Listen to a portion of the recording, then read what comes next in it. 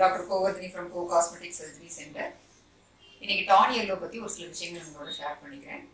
அதாவது பெண்களுக்கு காதில் தோடு போடுற ஹோல் பெரியதாகிறதுக்கு பேர் தான் டான் எல்லோ இது எதனால் வருது அப்படின்னு கேட்டால் ஒரு சிலருக்கு பெரிய கம்மல் போடுற பழக்கம் இருக்கும்.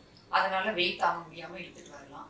அல்லது ஒரு சில டைம் பார்த்தீங்கன்னா அந்த தோட்டில் முடியோ இல்லை ட்ரெஸ்ஸோ மாட்டி இழுக்கிறதுனாலையும் அந்த கோல் பெருசாகும் இல்லை ஒரு சில வீட்டில் குழந்தைங்க வந்து தோட்டை பிடிச்சி இழுக்கிற பழக்கம் வச்சுருப்பாங்க. இந்த மாதிரி பல காரணங்களால் அந்த இயற்கோள் பெருசாகிறதுக்கு வாய்ப்பு இருக்குது இதனால் என்ன பிரச்சனை அப்படின்னு கேட்டால் இப்போ பெருசாக தோல் போடுறவங்களுக்கு அது காதில் படிஞ்சு இல்லாமல் தொங்கிட்டு இருக்கிற மாதிரி இருக்கும்.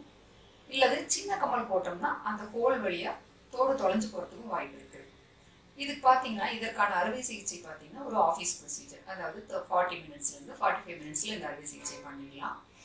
இந்த அறுவை சிகிச்சையில் என்ன பண்ணுவோம்னா ஒரு சின்ன லோக்கல் அனஸ்தீஷியா காதுக்கு பின்னாடி வழி தெரியாமல் இருக்கிறதுக்கு கொடுத்துட்டு அதுக்கப்புறம் அந்த போலோட பெருசான போலோட எட்ஜஸில் இருக்கிற ஸ்காரையெல்லாம் ட்ரிம் பண்ணிட்டு வெரி ஃபைன் சூச்சர்ஸ் வச்சு அதை ரிப்பேர் பண்ணிடுவோம்.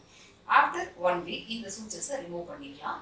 ஆனால் அதுக்கப்புறம் அந்த ஸ்கார் நல்லா செட்டில் ஆகிறதுக்கு ஒரு சிக்ஸ் வீக்ஸ் நம்ம டைம் கொடுக்கணும். செட்டில் ஆனதுக்கப்புறம் திருப்பி பியர்ஸ் பண்ணி நம்ம தோடு போட்டுக்கலாம். ஆனால் இந்த பெண்களுக்கு என்ன ஒரு பிரச்சனைனா இந்த ஆறு வாரத்தில் அவங்க தோடு இல்லாமல் இருக்கிறது ஒரு சிரமமாக இருக்கும்.